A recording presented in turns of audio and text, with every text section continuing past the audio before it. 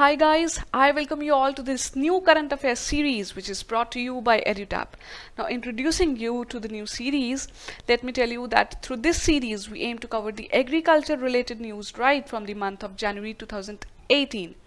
Now these news are going to be very important for the NABARD grade A examination and AFO examination which is held under IBPS okay. So now see these uh, new series are going to be important for AFO but uh, as in the NABARD grade A usually the questions are asked from the past six months current affairs. So though the content is not that much important for the NABARD grade A aspirants but this series will give you an orientation of the kind of questions asked and which would be helpful for you guys to filter out the important news and the content of the series is available in the PDF form in our telegram channel which is given in the link below.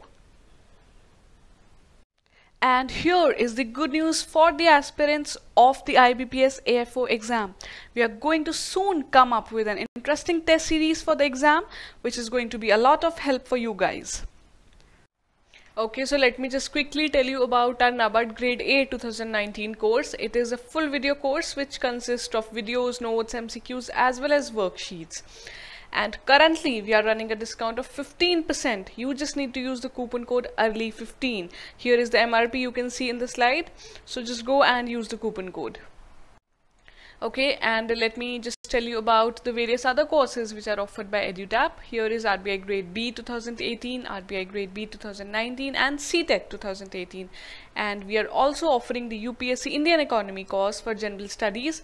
It will be covering your prelims as well as mains syllabus comprehensively Okay, so in this particular video, we are going to cover your agriculture and related current affairs from the month of April. And since this is part one, so we'll be coming up with another part for coverage of the April month together. And in case you guys have missed our January, February and March months, you can just go back and see the uh, those videos as well so that you are able to cover these all the current affairs simultaneously okay so first news of the day is about a very important scheme from west bengal that is the rupa shri scheme. See after uh, this uh, there is one another important scheme of the west bengal government that is kanya shri. It is about the uh, education of the uh, girl child so, so as to prevent the early marriage. And after that west bengal has come up with this rupa shri scheme. It is again related to the marriage of poor girls. Now here in this particular scheme marriage assistance to girls would be given to of the economically weaker families and a budgetary allocation has even been made. So uh, this is again important. And let me just tell you that the Kanya Shri scheme which uh, West Bengal is already running since 2013 it has got appreciation from UNICEF as well. So now this is on the lines of Kanya Shri this is Rupa Shri scheme. And another important scheme which is being run by West Bengal is this Manabik scheme. You can just go through it it it is about a monthly pension of rupees 1000 to persons with disabilities. So these are the three very important schemes from the state of west bengal Okay, so our next news is again very much important. It is about the agreement with World Bank for Maharashtra project for climate resilient agriculture. Now see, government is giving a lot of push to climate resilient agriculture uh, along with uh, organic farming and zero budget natural farming. We have talked about these farmings in our previous videos so now you must be aware about all those. Now here in this particular uh, news we get to know that government of maharashtra and world bank have signed this project of a dollar 420 million to basically help the small and marginal farmers. Now it is giving a push to the small and marginal farmers and the loan will be for a period of 6 years. The grace period will be uh, 6 years and maturity of 24 years. So this is about the climate resilient agriculture.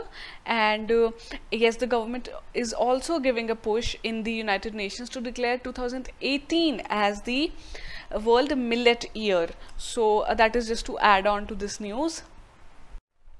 Okay another important is here AIIB that is Asian Infrastructure Investment Bank is going to provide a loan to improve the rural connectivity in Madhya Pradesh. So you just see that World Bank has sanctioned a loan for Maharashtra and AIIB is going to uh, provide the rural connectivity in Madhya Pradesh and this scheme will also be funded by World Bank as well so it will be as i've mentioned here it will be co-financed by world bank as well.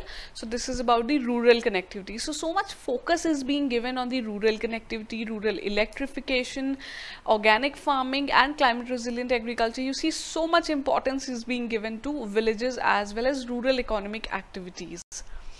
Let us just see about AIIB now in detail so this Asian Infrastructure and Investment Bank is basically considered as a brainchild of China as they proposed it in 2013 and the same initiative was then launched in Beijing. So uh, this AIIB is all about the creation of the infrastructure in the Asia Pacific region. So here the stakeholders of AIIB are mentioned. You can see that highest stakeholder is China itself and secondly it is India that is 8.52 and uh, yes that would be all from this particular news. Okay so government bans the import of hormone oxytocin. Now see oxytocin we have even talked about this particular hormone uh, in our previous videos as well. So now the government has come up with this ban of the oxytocin hormone itself. Now uh, this particular hormone has harmful effects and it is basically used in the livestock for the production excess production of the milk and even it is used in the vegetables. Now you can see such beautiful vegetables here. Maybe these are injected with oxytocin.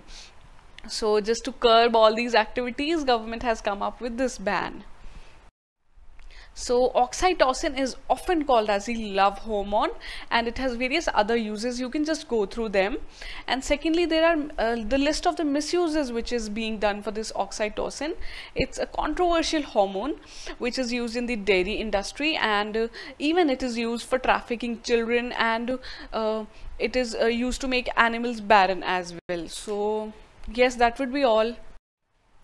Delhi becomes first city to roll out the BS6 fuel.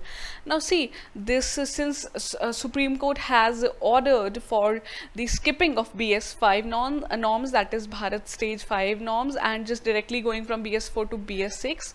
So Delhi has come out as the first city to roll out these norms. So BS6 fuel is like equivalent to Euro 6 emission norms. That is what we are basically following and with this rolling out as you see NCR and Delhi these regions are going through a lot of pollution due to the stubble burning and a lot of vehicular uh, pollution etc so this will help in the particulate matter emission to around 87% as compared to the uh, other ones. So you can see this is so much important now okay so uh, the last news is related to the Vandhan scheme now this scheme is very much important as it has been launched by Ministry of Tribal Affairs and TriFed. Now this TriFed is basically a PSU of the Ministry of Tribal Affairs. It had been launched in April 2018 on the uh, celebration of Ambedkar Jayanti and it was launched in Chhattisgarh. Again it is important for us to note down and you see i have mentioned here for you guys various schemes like Vandhan, Jandhan and Gobardhan schemes. These are basically the schemes uh, for giving the potential of tribal rural economic system. So uh, in this Vandhan scheme, let us see about this minor forest produce basically where the utilization of the natural resources will be done so uh, uh, the minor minor forest produce has recently got a definition that is in 2007 and uh, the minor forest produce are basically the all non timber forest produces like bamboo brushwood stumps canes etc you can see the tribal people have they depend on their living for all uh, these things. So these are very much important. And now government has come up with this particular scheme for the welfare of the tribal people. So one Vandhan uh, Vikas Kendras have also been come up along with the implementation of these schemes. So that's it guys, these were the news from the uh, April month and in case you guys have any query relating to our course or this particular exam, you can just drop us a mail at hello at edutap.co.in. You can even give us a call at 814-6207-241 and our website mentioned here www.edutap.co.in. You can visit it anytime and just before going please note down the link uh, the telegram channel link where uh, you can download all the content sheet of this particular series. It is also mentioned in the description below. And stay tuned for next part as well. If you guys like this video please do not forget to click the like subscribe and share. And thank you guys. Have a happy learning